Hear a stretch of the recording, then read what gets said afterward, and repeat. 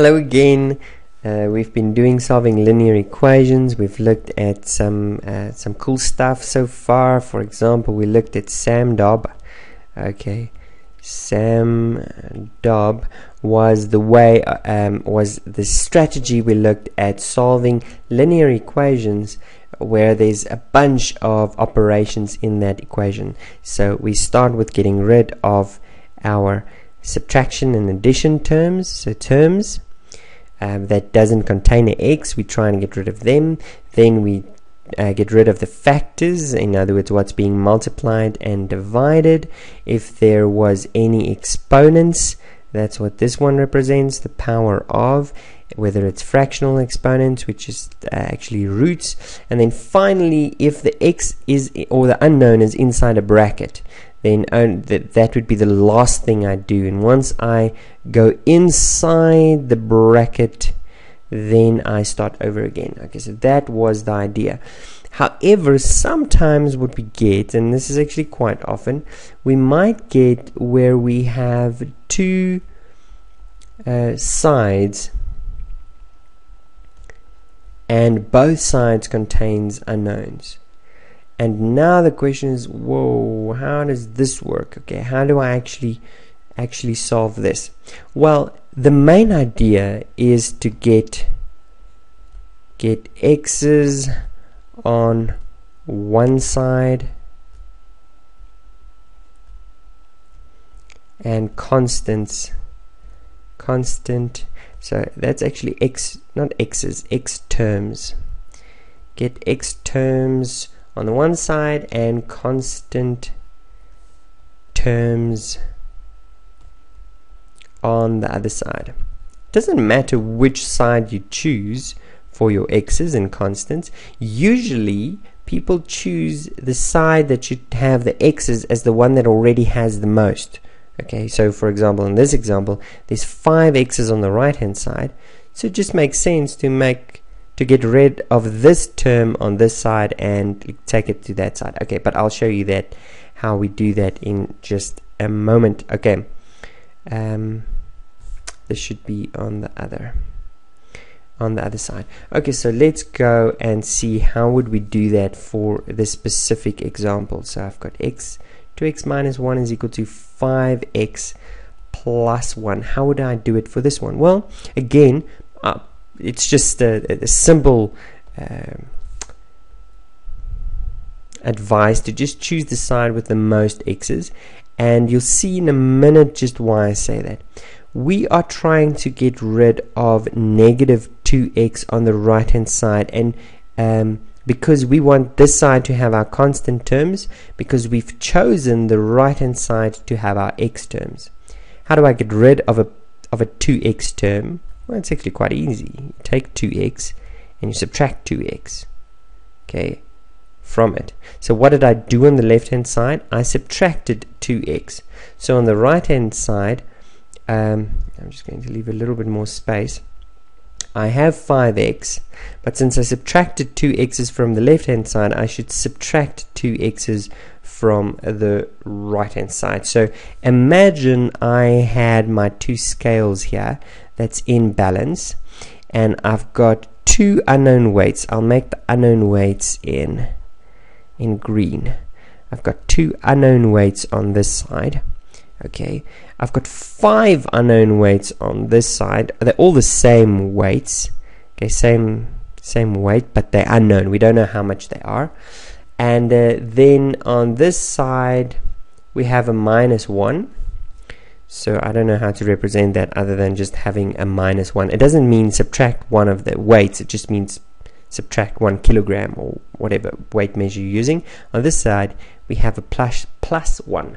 Okay, so if I wanted to, to, to make sure that only one of the sides have weights, it just makes sense to, to get rid of the side, to get rid of the weights um, that are the least. Okay, so if I take two weights away from this side okay then I'm going to be off balance. I also should take away two weights on that side. So can you see why we choose the one with the highest positive number? Okay it just makes sense because it leaves me with a positive number in the end. So here I now have 3x because I've got 5x minus 2, five, 3 unknown weights. And originally I had a constant plus 1 term here, but I don't want the constant terms on the left hand side. So I'm going to subtract it from this side. Now on since I'm subtracting it from the right hand side, I should also do it on the left hand side. But I already had a negative 1 on the left hand side. Now I'm just having another negative 1. Okay, so let me do that all in this step. So I've got a negative 1. So here you can see what it looks like. It looks like I took this term to the other side and it became a negative 2. That's what it looks like. It's not really what happens, it's just what it looks like. And it looks like I took this positive 1, I to the other side and now it becomes a negative 1. Okay, not really what happened. What actually happened is I subtracted it on both sides. It just cancelled on this side and, and it's now on the other side. So I end up having now negative 2 is equal to 3x. Okay, the weights example does fail at this point because what is negative 2? Anyways, I'm trying to get x on its own. To do that, I should divide with 3 because 3 is multiplying the x. I should divide with the 3 on this side as well. When it cancels on this side, I've got left x is equal to negative 2 over 3. Or I can write it in this direction, x is equal to negative 2 over 3 because there's no difference. Okay, it's the same thing. And there I go. I've got my answer. So what did I do? Well, all I did was to choose a side, take make uh, got rid of the side that I didn't want x's, got rid of any terms that did have x's, and um, added them to the other side. And on the the side that the x's go, I got rid of all the constant terms and added it on the other side. Okay, so one more thing. What if we had something a little bit more challenging, like here?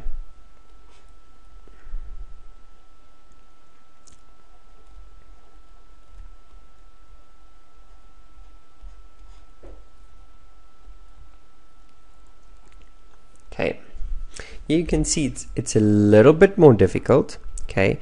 And the reason why it's a little bit more difficult is because of these brackets here. Now now my unknown is inside a bracket and we know we can't touch brackets yet.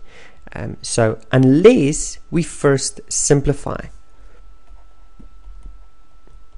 Okay why not just make it easier for ourselves? Let's just simplify first. How do we simplify? Well multiply in Okay, so just do normal maths. 2x minus 2 plus 4 is equal to 3x plus 12 minus 3. All I did was to distribute this, which we've done more than enough of at this point, and now I simplify. Negative 2 plus 4 gives me 2x plus 2 is equal to 3x mm, plus 12 minus 3 is 9. And here you see we've got the same idea again. We've got x's on the one side. We're going to choose the right hand side again. Those, there's more x's. So we're going to subtract from this side 2 x's and subtract from this side 2 x's. So that leaves me with 3 x's on well on this side I've got nothing no x's left on the right hand side I've got 1 x left 3x minus 2 on the right hand side, I don't want constants anymore. I've got a positive 9, so I'm going to subtract it from the right hand side, and I'm also going to subtract it from the left hand side so that I keep my balance. On the right hand side, I'll have no more constant terms left because that was the idea. And on the left hand side, I had a 2. I'm subtracting 9, which means I now have negative 7 and that is my final answer. x is equal to negative 7. If x is equal to negative 7 and I substitute it in here, you'll actually see the left hand side is equal to the right hand side. Let's test that. Always a good idea to test your answer, and that's the wonderful thing about maths. You can know whether you were right or wrong. You can mark your own work. That's brilliant, don't you think? So let's replace x with negative 7. Negative 7 would give me 2 times negative 7, negative 1 plus 4. This is the left-hand side. Let's do that first. Negative 7, remember BODMAS, we do what's in the bracket first. Negative 7 minus 1 is negative 8. So the bracket is negative 8. The bracket is being multiplied by 2, so that means this whole thing is negative 16 plus 4 equals 12. So this left-hand side is equal to 12. Is the right-hand side equal to 12 as well? Let's do that in a different color so we don't get confused. Okay, 3 times negative 7 plus 4 minus 3. So x is equal to negative 7, so we replace it with a negative 7. Negative 7 plus 4 is equal to negative 3. So the bracket will simplify to negative 3. But the bracket is being multiplied with a 3, so 3 negative 3's gives me, so this whole thing would be negative 9. Okay. Oh, I made a mistake here. It's not, it's negative 12 because it's negative 16 plus 4. Uh, thank you for correcting me. Okay, so we've got negative 9, negative 3 is equal to negative 12. And there we see, oh, our left hand side is equal to our right hand side. If you choose any other value for x, that will not be the case. The only value that will work is x equal to negative 7. Well, thank you for watching this video.